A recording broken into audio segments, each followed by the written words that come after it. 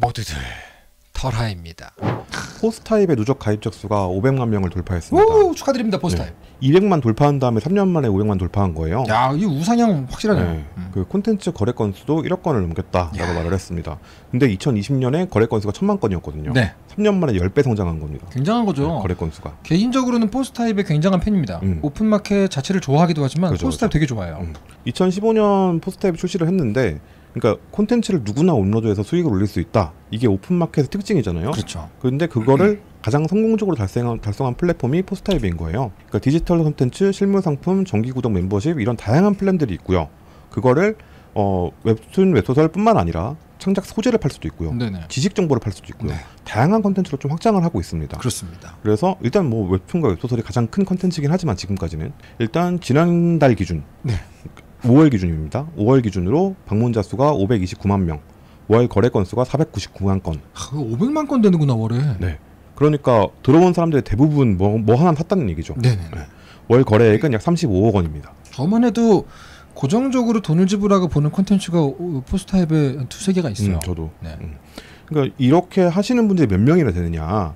추, 일단 수익을 발생시킨 분 네. 기준으로 하면 만 명입니다. 오. 만 명이 수익을 내고 있는 거예요. 네네네.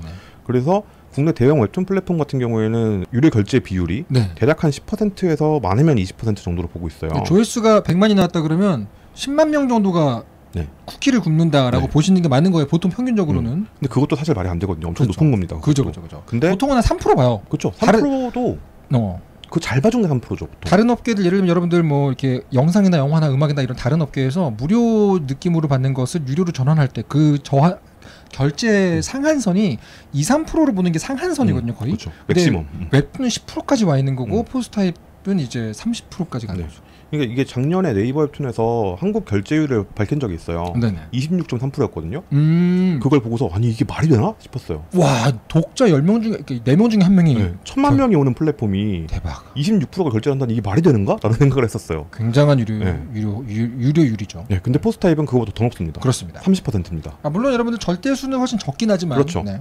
물론 이제 한 달에 500만 오는데 30% 결제하는 것과 1000만 오는데 25%는 약간 다르긴 하지만 그렇죠, 그렇죠, 네네네. 그래서 30%이 사람들이 뭘 하느냐 구매를 하거나 후원을 하거나 하고 있는 거예요. 그래서 독립 창작물의 경우에 창작이 지속되려면 계속해서 후원이 응원이 필요하잖아요. 네네.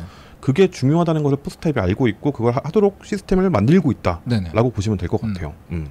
그래서 일단 누적 거래 건수 1억 건을 기념해서 크리에이터 이코노미 가이드를 발- 발표했는데 크리에이터 이코노미 가이드. 네. 그러니까 자- 그 자- 당신의 컨텐츠를 올린 분이시라면 입점하신 분이라면 이코노미 가이드. 네. 돈과 관련된 것들을 가이드라인을 드리겠습니다죠. 그러니까 수익화를 처음 시작하시는 분들이 아, 어디부터 시작해야 되지 막막하잖아요. 그렇죠, 그렇죠, 그렇죠. 그거에 대한 가이드라인을 드리겠다는 겁니다. 굉장히 중요하거든요. 음. 그렇죠. 정말 처음에 시- 걸음마 할 때 아무도 안 잡아주고 있으면 불안하잖아요. 시장에서 보통 사람들이 그 시장의 주인이 있어. 그러면 소비자를 많이 오게 한다 생각을 하지만 일단 입점하는 분들이 아. 이 점주들이 많이 오셔야 됩니다. 근데 그렇습니다. 중요하거든요. 정말 정말 중요하죠. 그렇죠. 그래서 포스타입은 그걸 위해서도 있고 그리고 포스타입에서도 이제 수익화를 위해서 하고 있는 것 중에 하나가 포스타입 오리지널이에요. 네.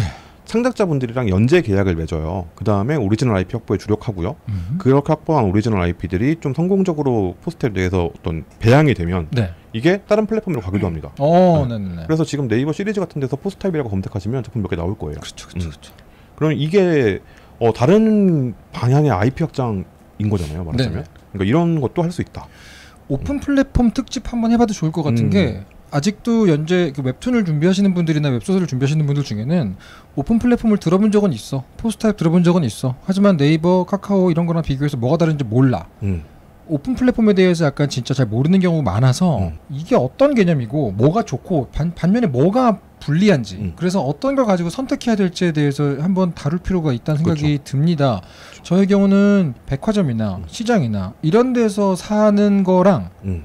홍대 플리마켓이나 거리 노점들에서 사는 것과 음. 차이점 같은 거 음. 그리고 음반 레코딩 샵에서 음반을 사는 것과 버스킹하는 사람들이 많은 거리에서 버스킹을 듣는 것 사이에 음. 장단점과 되게 비슷하게 다가온단 말이죠. 그러니까 내가 만들고 있는 컨텐츠의 특징을 본인이 잘 분석을 했을 때 생각보다 이런 오픈 플랫폼이 훨씬 찰떡인 경우가 분명히 있어요. 음, 그런 그렇죠. 분들을 위해서 웹툰스쿨 크루 중에 계시다면 음. 한번 오픈 플랫폼 관련해서도 얘기를 한번 나눠보겠습니다. 저희가. 네.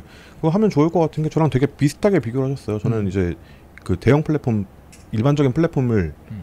보통 백화점이나 아울렛에 비교를 많이 하고 그리고 이 오픈 플랫폼에 나가는 걸 푸드트럭에 비교를 하거든요. 그렇죠, 그렇죠. 네. 비슷합니다, 비슷합니다. 비슷하게 좀 생각을 하고 계시는 것 같아서 재밌을 것 같네요. 그래서 포스타입이 지금 잘 되고 있고 지금 열심히 노력을 많이 하고 있다. 음. 그래서 지금도 계속해서 창작자분들을 모집하고 있다. 포스타입 관계자분이나 네. 모셔볼 수도 있어요 한번. 어 있죠. 부부사님이랑 같이 와가지고 네네. 관계자분이나 네.